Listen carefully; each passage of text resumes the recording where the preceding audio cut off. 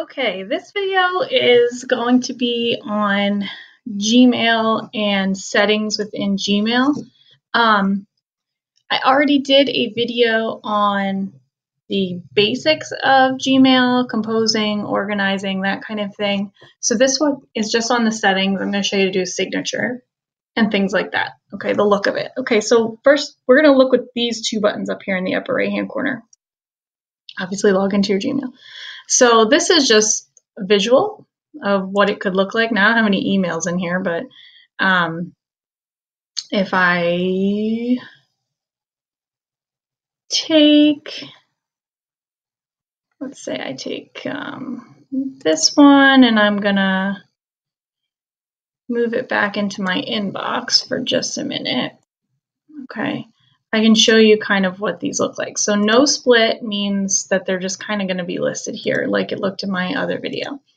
Vertical split, okay, um, is the, the listing over here and then you can read what it says here. Um, and then the horizontal split, again, you can read what it says there. I prefer to see a list, so I like no split. Okay. Um, one of the other um, things that you can look at right here is settings. All right, so um, there's some settings here where you can look make it look a certain way. So comfortable will change what it looks like. It doesn't it's that's more for if you were showing it on a screen.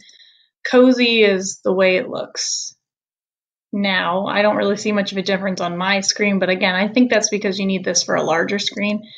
And then compact makes everything a little bit smaller. It more has to do with the fonts and like how large you can see your emails and things like that.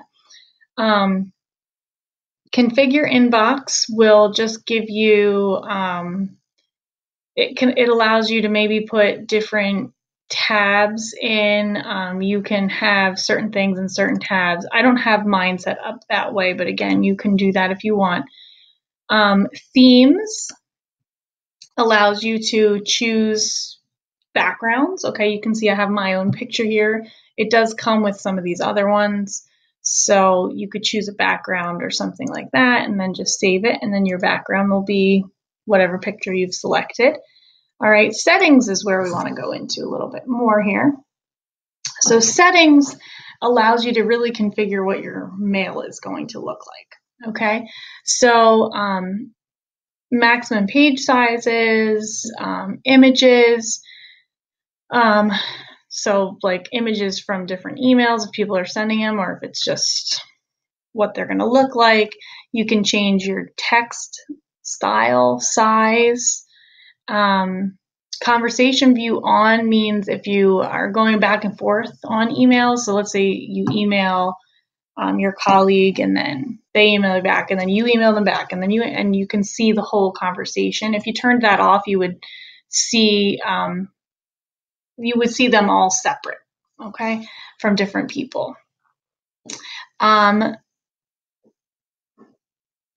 send and archive means that when basically what happens is when you send an email, you can archive it right away.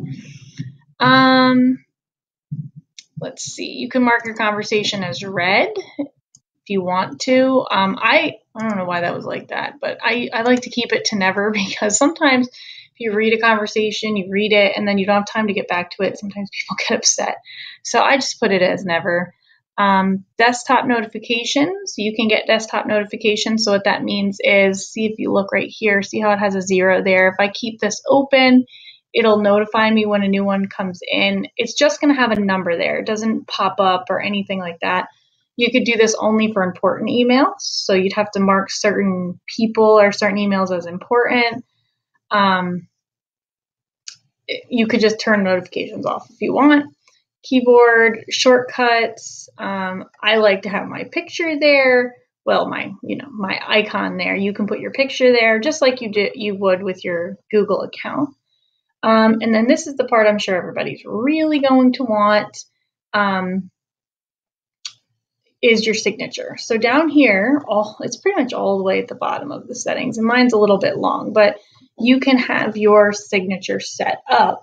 So every time you send an email, it pops up. You don't have to type it every single time, and you can just type, you know, whatever you want. I just have my name. Um, I always do my, obviously, my title, and then my website is next to it. Um, I'm also the advisor, so I put that there in the website for that phone number, email. Um, my level one certification, and then my confidentiality notice. This is so I don't have to type it every single time. uh, that you could do that in Outlook too. So I just wanted to show you that that was, you know, important to have, and that you you do need that on there. Okay. Um, other thing that you might want is vacation. It's called vacation, but this would be, for example, I'm going um, uh, to a conference in um, December. So I would maybe put one of these up for that conference. So really all you have to do is put vacation response on. You would put the day. So I'll just set it up. Um, I want it on for the 30th and it's only going to go until the 3rd. Um, the subject is um, maybe out of classroom.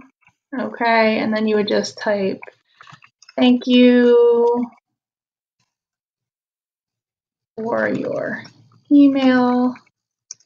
I am currently away and will respond as soon as possible. Or, or something like that. Oh my gosh, I can't type, sorry. Uh, something like that, okay? So you can send this only to the people in your contacts. You could send it only to people in Nazareth Area School District. It kind of depends. If you want it to come through for every email that you get, then it could do that as well. Okay? So I don't want that. and then just make sure that anything you change in here, um, whether it be your font, your signature, your vacation response, you just make sure you hit save changes. Otherwise, it will not get saved. Um, some of the other things that are in, I'm going to go back into the settings here. Some of the other things, um, labels you can manage in here. So I showed you how to do labels in the other video, but you can manage them in here. You can create them. You can hide or show the ones that Google sets up for you. Um, you can manage your inbox, similar to the other tab there, but you can manage some of the things within your inbox. Your accounts are listed in here. Um, some of this other stuff you would probably never play around with. Filters and blocked addresses. So let's say that a parent says that um, their email is you, they've been emailing you, but you have not been getting it. This is where you'd want to go: filters and blocked addresses. And if you see their their address here, um, you're going to want to unblock it just so that their emails can come through. Um, if you are getting spam from an email or you just don't want to see the emails from like a certain, I don't know, like a company anymore, if you don't if you don't want to unsubscribe but you're just tired of seeing them, you could add their email to this. Um, and then some of this other stuff, like you really wouldn't play around with it. Themes is in here if you want to change your theme. Okay. So that's settings, and that's how to make some changes within settings. Like I said, this first screen, the general settings, is probably mostly what you will play around with. And don't forget to always hit save changes. Okay, thank you. And if you have questions, let me know.